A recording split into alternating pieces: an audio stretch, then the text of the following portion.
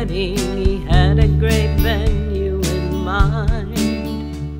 He sent invitations to friends and relations, but was disappointed to find that those who'd been summoned said they weren't coming, they had too much business to tend.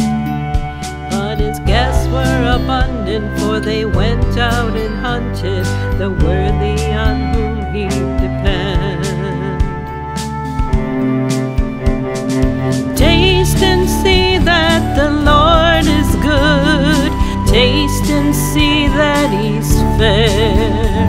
If we say we believe it, but we don't receive it, then how can we know that He cares? We can go to the finest diner and order the finest ware. But if we never taste it and tell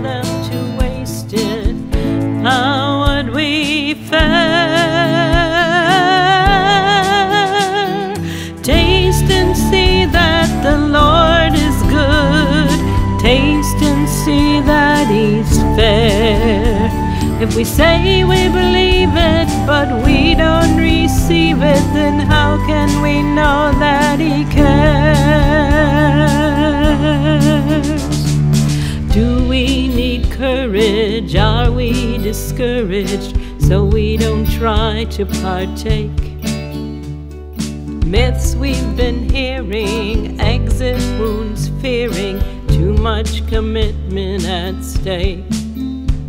But God brings a healing and treacherous dealing to webs that encumber our feet. His table's before us to feast, He implores us, why don't we sit down and eat?